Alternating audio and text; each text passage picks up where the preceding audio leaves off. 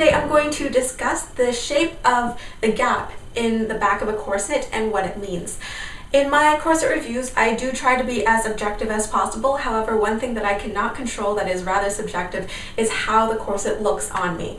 Um, I'm lucky enough to have a figure that's fairly balanced on top and bottom, so a lot of off-the-rack corsets fit well enough on me. However, um, anybody who has a body that is not exactly my shape and dimensions, uh, of course it's going to fit differently on them.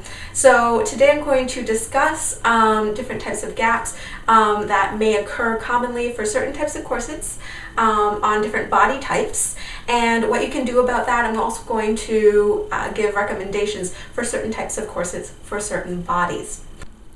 The first shape we'll look at is the A shape. This means that your hips are too wide for this certain corset pattern. This type of gap is common for women who are naturally a pear shape or if they have a hip spring more than about 12 to 14 inches, which most off-the-rack corsets don't cater to. Do not try to force the hips smaller because you may end up getting an odd bump at the lower edge of the corset. It also can make your hips go numb. If this is you, then avoid any corsets that say modern slim silhouette or gentle curves. For those who have a larger hip spring and they're looking for an off-the-rack corsets, I'd recommend Isabella Corsetry or what Katie did. The second shape we'll look at is the V shape. This means that your rib cage is too broad, or if you're like me, then you have a very fleshy torso and you need to lace it with a little bit more room so you don't get major muffin top. Even if your lower ribs are quite narrow, you may still experience this if you have broad shoulders and you're wearing an overbust corset. For standard corsets with a larger rib cage, I've had good experiences with Timeless Trends and the CS426 from Orchard Corset. And the next shape we're going to discuss is this one. So it's smaller at the top and bottom of the corset, big gaping at the waistline. And um, you've seen me review this corset before and you've seen how I can get it laced straight in the back. However, I'm just lacing it really quickly this way um, to show you just an example of what it looks like. And that is not good for the corset actually because um, one reason that the corset might be doing that is the bones might be too narrow for their channels, so they're twisting their channels. The bones might be not stiff enough or strong enough, so um, they're bending under the pressure instead of staying straight. Another reason is that maybe you have ordered a corset that's too small for you, or um, with a smaller waist than you're ready for because your waist will provide resistance pushing outward on the waistline of the corset if you have not trained down enough um, to be able to withstand those restrictions. Your body's going to push back on the corset, cause a shape like that. Instead of having this shape right here, what you should do instead is actually loosen the laces so that whatever the gap is, um, at the waistline, whether it's four inches, five inches, whatever, try and have the same gap at the top and bottom. What this means is your corset may have significant gaping. It might actually have a significant gap of space between your, your rib cage and the corset or between your hips and the corset itself.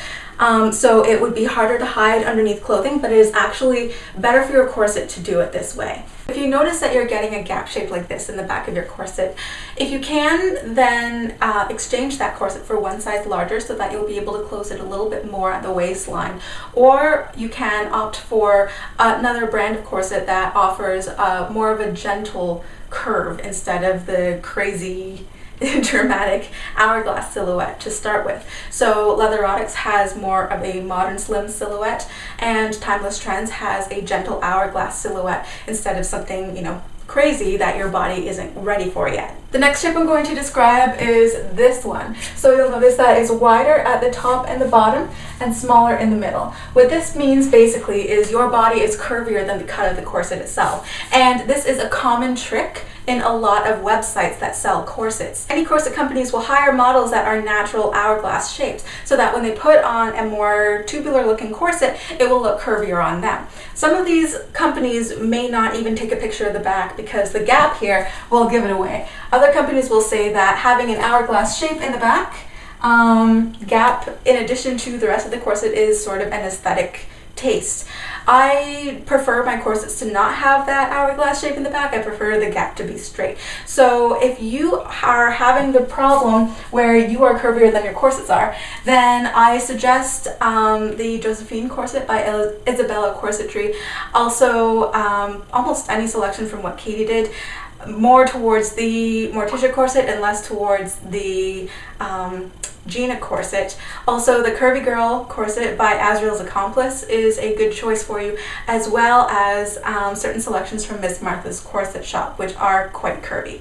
And now let's look at the diagonal gap in which the edges of the corset are parallel. However, they're not exactly going straight up and down on you. Um, many corsets have a habit of sitting diagonal on me. You can see this on the Timeless Trends Emerald underbust, on the pink Axford's underbust C242, on the What Katie Did Tempest overbust, and even some of my homemade corsets like my Sebastian corset. If your corset twists on you, then there are several reasons that this may be happening. One, if the corset is made with twill and all of the panels have the twill running in the same direction, then it may stretch more on one bias than the other. This is because twill, while it is strong, it has an asymmetric weave. You can test whether your corset has either been built asymmetrically or had stretched asymmetrically by measuring the half circumference on each side of your corset at the ribcage, waist, and hips and seeing if both sides match up. Two, it may just have been how you put on the corset that day. Always try to lace in front of a mirror to avoid this situation. And if you notice that your corset is twisted on you, then immediately take it off and then put it on again straight this time. You don't want your corset to become seasoned to lay twisted on you forever. Three, it may not be the corset, but rather your body that's asymmetric.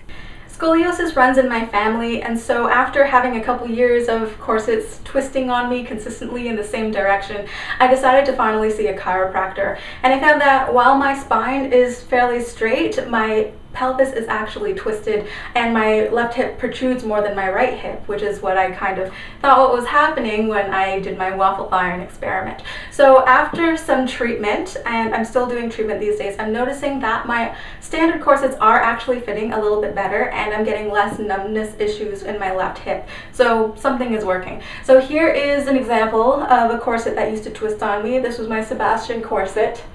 And you can see that it's not twisting quite as much. There's still a tiny bit of asymmetry in there, but it's definitely looking better than before. To the untrained eye, I don't think it's going to be a huge issue. Um, but if you have any sort of asymmetry in your body, um, whether you had broken some ribs before or, or, your hips are not aligned, or if one leg is uh, longer than the other, either from um, injury or congenital issues, or if you have scoliosis or lordosis or kyphosis, anything like that, I highly recommend going custom made instead of off the rack. And what an experienced corsetier can do is take separate measurements of each side of your body. I'd shown that in a different video, which I'll link right up there. And even though you may be asymmetric and the corset might be asymmetric, when you wear the corset, it will end up looking like you are symmetric. I hope this video cleared up a lot of questions for you and you're able to make more wise um, buying decisions online when it comes to choosing corsets for your body type. If you did like this video, then please click the like button, help support the channel. If there's anything that I didn't cover in this video, if you have any questions or comments you would like to add to this discussion, please leave them down below. And I will see you all in the next video. Bye!